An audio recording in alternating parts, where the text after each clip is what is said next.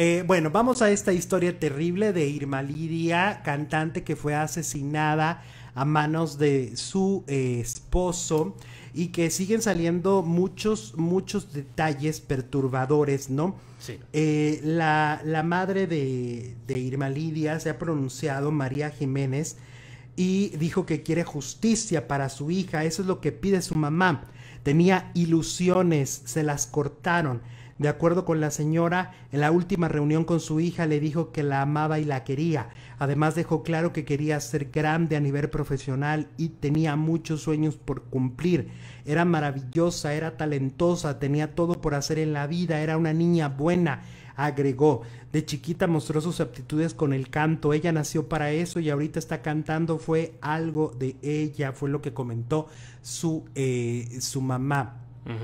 Como siempre, nuestros padres mostrarán nuestro lado más bonito siempre, ¿no? Sí. Será, será esa, e- es- eso es natural, es algo que pasa Tragedia siempre. terrible que están viviendo, ¿no? Exacto. Pero TV Notas no los dejan nada. Ni TV Notas ni. Imagen Televisión, ¿no? En, en estos dos medios se están diciendo cosas fuertes sobre, pues bueno, se dice específicamente que a Irma Lidia prácticamente la vendió su mamá, ¿no?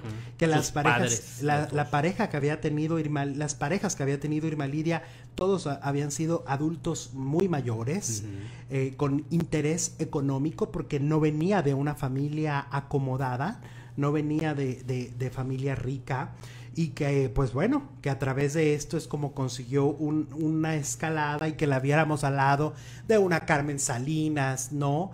Al lado de mucha gente.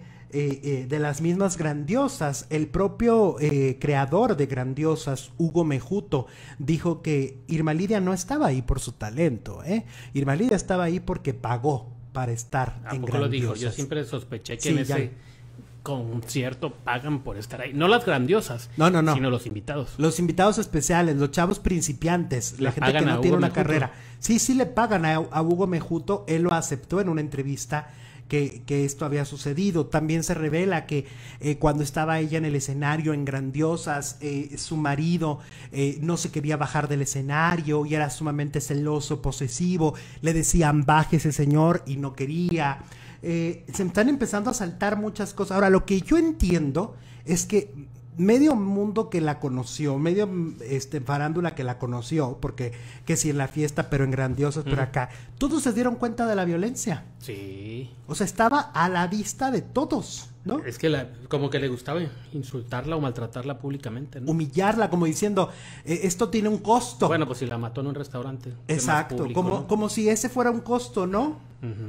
Este, y luego Jesús N, pues se declara inocente. Bueno, Se declara inocente el, el- el posible asesi- asesino, ¿verdad? Este marido. Y eh, es una historia que ya cuando la revisas tiene tantas, tan- tantos hilos, ¿no? De dónde jalar. Desde cómo los padres a lo mejor sí por ahí estaban involucrados. Como todo mundo vio que es, era violentada, pero, pero pues ¿qué haces? Es su marido, ella es un adulto, no se defendía, no hacía nada, no denunciaba, ¿no?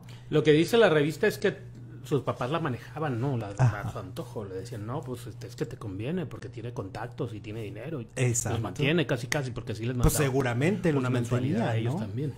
Es lo que dice la revista. O sea, ahora cuando se va conociendo toda la historia, porque al principio solamente es una cantante asesinada, ¿no? Sí. Ya después dices, ah, ok, tenía tantos años. Ah, ok, wow, súper joven, qué impacto, ¿no? Luego, ah, fue el marido. ¡Ah! ¿Cómo el marido? Y ya cuando va pasando los días, esto se va, se va destapando, se va destapando la alcantarilla y salen y salen cosas desagradables, ¿no?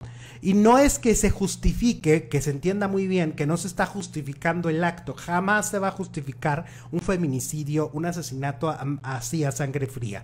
Lo que se está buscando es conocer la historia completa, ¿no? Eso es lo que nos gusta a nosotros en este programa, darles la historia completa, la radiografía completa de esta trágica historia. Es así de simple. Empezando por Carmen Salinas, dice Yarcy. Carmen Salinas en la entrevista dice, pues como eran políticos, era amigo de Ajá, políticos, sí. y Carmen estuvo en la política, seguramente ahí lo conoció.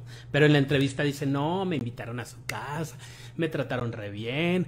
Comidita japonesa, que es la que más me gusta. Tu esposo es un caballero. Uy, Carmen. Dios santo, más, nada más lejos, ¿no? Sí, sí, pero bueno, es que era la apariencia. Para muchos era la apariencia de que supuestamente todo bien. Ahora yo digo, pues si frente a todo mundo trataba mal a, a esta chica, yo no creo que se haya detenido porque fuera Carmen Salinas, ¿o sí? No, pues no creo. Pero pues Carmelita. güey. Carmen también es que Carmen... Carmelita, señora de antes, pues aguantaba los trancazos. Y, le- Bueno, y- los no, y. Carmelita le encantaba moverse entre, el- entre la gente poderosa, ¿no? Sí. Ay, pues sí se movía. Era amiga de políticos, que son algunos de ellos son unas Imagínate ratas nomás. asquerosas, ¿no? Pues ella misma entró a la política, ¿no? Pues sí. Iba a dormir, pero pues. Exacto. A ver, En tenemos preguntas sobre esta historia y este caso es la encuesta. Mira, dice Ar- Ana Arjona, ayer mandé 50 estrellas y propuse que Alexito nos pusiera sus canciones como entrada antes del programa. Ah, ok. padre. Gracias, gracias por... por... Y luego tenemos, eh, hay que felicitar a Berito, P, P. Dice, producer Alexito, por favor, felicítenme, será mi mejor regalo de cumpleaños. Soy gemela y mi hermana Klaus, P, B. ¡Feliz También los cumpleaños! escuchas. También, Berito y tu hermana gemela, pues a las dos, felicitación doble, que cumplan ¿Cómo le dicen a las repetidas? más. sí. Las repetidas, le Las repetidas. ¿Y son igualitas o- A veces así se dice cuando, se- cuando salen dos cuatitas o dos gemelas. Geme- las gemelas son iguales. Las, Las cuatas también se parecen muchísimo. Mariana, mi amiga, tiene cuata y las ves y dices, "Oh". Oigan, y ya para, eh, para cambiarle el tema, qué bonito que los hicimos recordar hoy. Mira, nos está diciendo muy, muy lo valgo. Mi primer peli fue en el auditorio de mi primaria en el 64 y se llamó El despertar del mundo. Los llevamos así al wow. de los Claro, los transportamos a un día específico de su vida. Jorge Gerardo dice, la primera película que yo vi en cine fue la primera visita que hice a México. Era El gato con botas en el cine Tlalpan en 1971. Bueno, cerramos el programa, nos vamos a la segunda transmisión del día. Eliminaron a Osvaldo Ríos y no lo hemos comentado de la Casa de los Famosos. Vamos a desmenuzar esta salida. Además, se hundió Mujer de Nadie. Y una actriz murió. La historia completa. En dos minutos regresamos en Alejandro Zúñiga Telenovelas. Y allá nos pueden seguir diciendo qué película fue la primera que vieron. Regresamos.